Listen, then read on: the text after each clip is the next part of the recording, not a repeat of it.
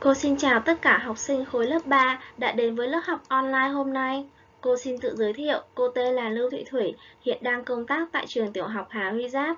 Hôm nay, cô sẽ đồng hành cùng các con môn toán bài so sánh số bé bằng một phần mấy số lớn. Trước khi bắt đầu bài học, cô yêu cầu các con chuẩn bị sách giáo khoa, vở cũng như chuẩn bị các dụng cụ học tập cho môn toán nhé. Ở tiết học trước, các con đã biết so sánh số lớn gấp mấy lần số bé. Vậy còn ngược lại, so sánh số bé bằng một phần mấy số lớn, ta làm thế nào? Và hai phần này có mối liên hệ với nhau hay không? Chúng ta hãy cùng đi khám phá nhé! Nội dung của bài học ngày hôm nay gồm có hai phần. Đầu tiên, cô sẽ hướng dẫn các con so sánh số bé bằng một phần mấy số lớn. Sau đó, chúng ta sẽ cùng áp dụng để làm một số bài tập vận dụng nhé.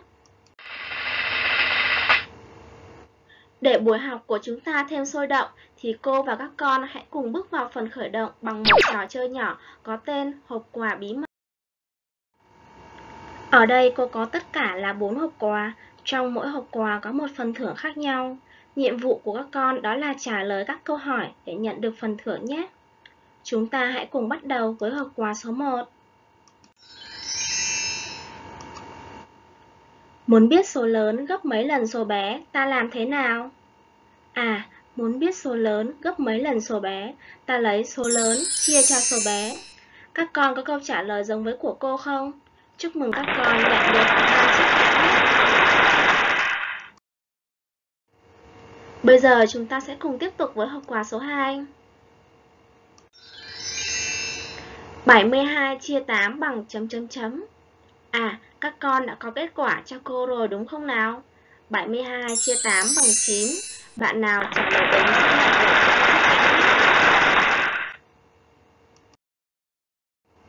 Tiếp theo là hộp quà số 3. Bao gạo 35 kg, nặng gấp chấm chấm chấm lần bao gạo 7 kg. Muốn biết bao gạo 35 kg nặng gấp mấy lần bao gạo 7 kg? Ta lấy 35 chia 7 bằng 5 lần. Chúng ta có đáp án là 5 lần. Với câu trả lời đúng này,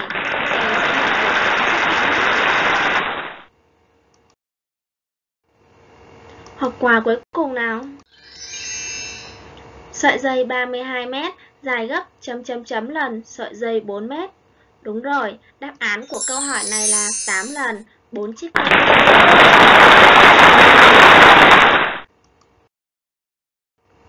Qua phần khởi động vừa rồi, em đã được ôn lại cách làm bài toán so sánh số lớn gấp mấy lần số bé. Bây giờ chúng ta sẽ cùng chuyển sang nội dung bài học ngày hôm nay nhé. Mở đầu là ví dụ sau, các con hãy cùng quan sát hình vẽ. Cô có đoạn thẳng AB và đoạn thẳng CD. Đoạn thẳng AB dài 2cm, đoạn thẳng CD dài 6cm. Các con hãy cho cô biết độ dài đoạn thẳng CD gấp mấy lần độ dài đoạn thẳng AB. Chúng ta trả lời được ngay, phải không nào? Bởi vì các con đã học bài so sánh số lớn gấp mấy lần số bé. Số lớn ở đây chính là độ dài đoạn thẳng CD và số bé ở đây chính là độ dài đoạn thẳng AB. Muốn so sánh số lớn gấp mấy lần số bé thì ta sẽ lấy số lớn chia số bé. Do đó, đoạn thẳng CD gấp độ dài đoạn thẳng AB số lần là 6 chia 2 bằng 3 lần, hay độ dài đoạn thẳng CD gấp 3 lần độ dài đoạn thẳng AB. Như vậy, nhìn trên hình ta thấy độ dài đoạn thẳng AB là 1 phần, thì độ dài đoạn thẳng CD là 3 phần như thế. Vậy ta nói rằng độ dài đoạn thẳng AB bằng 1 phần 3 độ dài đoạn thẳng CD. Cô vừa so sánh độ dài đoạn thẳng AB bằng 1 phần mấy độ dài đoạn thẳng CD và chúng ta tìm được kết quả là 1 phần 3. Độ dài đoạn thẳng AB ở đây chính là số bé và độ dài đoạn thẳng CD ở đây chính là số lớn. Đây là ví dụ mở đầu cho dạng toán so sánh số bé bằng 1 phần mấy số lớn. Để các con hình dung rõ hơn về dạng toán này, chúng ta cùng đi tìm hiểu tiếp bài toán nữa nhé. Bài toán Mẹ 30 tuổi, con 6 tuổi, hỏi tuổi con bằng 1 phần mấy tuổi mẹ. Chúng ta hãy cùng tóm tắt bài toán nhé. Đề bài cho chúng ta biết gì? Đề bài cho chúng ta biết mẹ 30 tuổi, con 6 tuổi. Đề bài hỏi gì? Hỏi tuổi con bằng 1 phần mấy tuổi mẹ. Các con chú ý đặc biệt cho cô cụm từ bằng 1 phần mấy. Đây là cụm từ khóa cho dạng toán ngày hôm nay. Nhớ lại bài học ngày hôm trước, so sánh số lớn gấp mấy lần số bé thì cụm từ khóa chính là gấp mấy lần. Còn đối với dạng toán ngày hôm nay, so sánh số bé bằng 1 phần mấy số lớn thì từ khóa chính là bằng 1 phần mấy. Căn cứ vào các từ khóa thì các con có thể xác định được dạng toán và từ đó tìm ra phương pháp giải cho phù hợp. Vậy, để so sánh tuổi con bằng 1 phần mấy tuổi mẹ, chúng ta làm thế nào? Dựa vào ví dụ đầu tiên, trước hết chúng ta sẽ so sánh tuổi mẹ gấp mấy lần tuổi con. Cô có lời giải. Tuổi mẹ gấp tuổi con một số lần là 30 chia 6 bằng 5 lần. Như vậy, tuổi mẹ gấp 5 lần tuổi con. Nếu tuổi con là một phần, thì tuổi mẹ sẽ là 5 phần như thế. Từ đó, ta suy ra rằng tuổi con bằng 1 phần 5 tuổi mẹ. Đáp số 1 phần 5. Các con lưu ý, khi ghi đáp số, mình sẽ không ghi đơn vị nhé.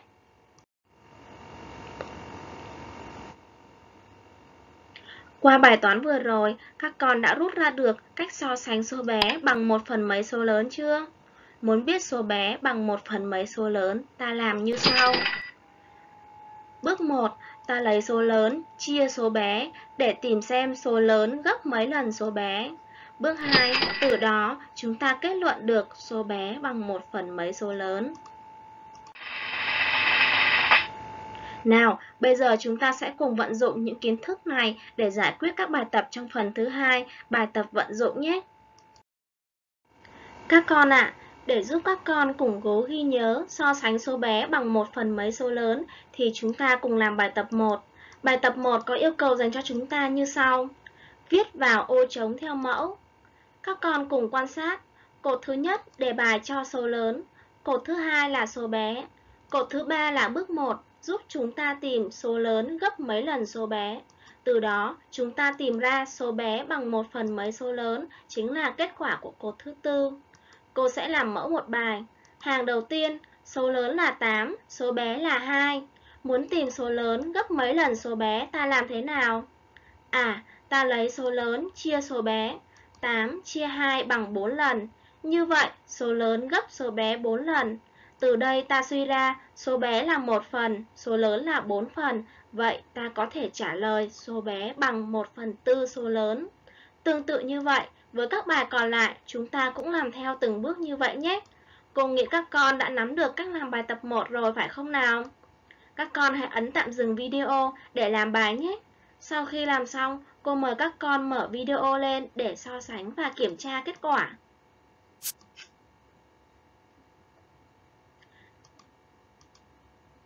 Nào, bây giờ cô mời các con cùng cô kiểm tra kết quả nhé. Bài thứ hai, số lớn là 6 và số bé là 3. Như vậy, số lớn gấp mấy lần số bé các con? À, ta lấy 6 chia 3 bằng 2 lần. Vậy, số bé mấy phần? Số lớn mấy phần? À, số bé là một phần, số lớn là hai phần. Chúng ta ghi vào đây số bé bằng 1 phần 2 số lớn. Bài cuối cùng, số lớn là 10, số bé là 2. Như vậy, số lớn gấp mấy lần số bé? Ta lấy 10 chia 2 bằng 5 lần. Vậy số bé 1 phần, số lớn 5 phần. Chúng ta có câu trả lời số bé bằng 1 phần 5 số lớn. Nào, các con hãy cùng kiểm tra bài làm của các con có kết quả giống với bài làm này hay không? Nếu các con có được kết quả giống như bài làm này thì cô xin chúc mừng các con nhé. Các con ạ, à, cô hy vọng rằng qua bài tập 1, các con đã nắm được các bước để so sánh số bé bằng một phần mấy số lớn. Bây giờ chúng ta sẽ sang bài tập 2 để áp dụng nó với giả toán có lời văn nhé. Các con hãy đọc đề bài tập số 2 với cô nào. Ngăn trên có 6 quyển sách, ngăn dưới có 24 quyển sách. Hỏi số sách ở ngăn trên bằng 1 phần mấy số sách ở ngăn dưới. Để tóm tắt bài toán này, chúng ta trả lời câu hỏi, bài toán cho biết gì? À, bài toán cho biết ngăn trên có 6 quyển sách, ngăn dưới có 24 quyển sách. Bài toán hỏi gì? Hỏi số sách ngăn trên bằng 1 phần mấy số sách ở ngăn dưới. Các con đọc kỹ câu hỏi, xác định cho cô từ khóa bằng 1 phần mấy. Vậy bài toán này là dạng toán so sánh số bé bằng 1 phần mấy số lớn. Trong đó, ngăn trên có 6 quyển sách là số bé, ngăn dưới có 24 quyển sách là số lớn. Vậy, để tìm số sách ngăn trên bằng 1 phần mấy số sách ngăn dưới ta làm thế nào? À, ta đi tìm số lớn gấp mấy lần số bé, tức là số sách ngăn dưới gấp mấy lần số sách ngăn trên.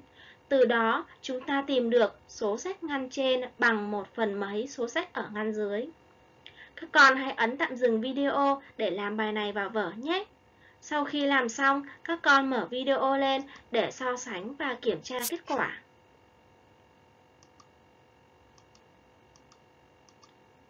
Nào, bây giờ cô mời các con cùng cô kiểm tra kết quả. Đầu tiên, chúng ta đi tìm số sách ngăn dưới gấp mấy lần số sách ngăn trên. Cô có lời giải. Số sách ngăn dưới gấp số sách ngăn trên số lần là 24 chia 6 bằng 4 lần. Vậy số sách ngăn dưới gấp 4 lần số sách ngăn trên. Từ đó ta có kết luận. Vậy số sách ngăn trên bằng 1 phần 4 số sách ngăn dưới. Đáp số 1 phần 4. Các con hãy kiểm tra bài làm của mình có giống với bài làm này hay không nhé. Cô chúc mừng những bạn làm đúng. Vậy là qua bài tập này, cô thấy các con đã biết vận dụng so sánh số bé bằng một phần mấy số lớn vào giải toán có lời văn rồi. Các con đã làm rất là tốt. Các con thân mến, như vậy chúng ta đã tìm hiểu xong bài tập ngày hôm nay. Cô chúc các con con nhớ thực hiện đúng 5K để bảo vệ bản thân và gia đình trước Covid-19 nhé. Cô thân mến và chào tạm biệt các con.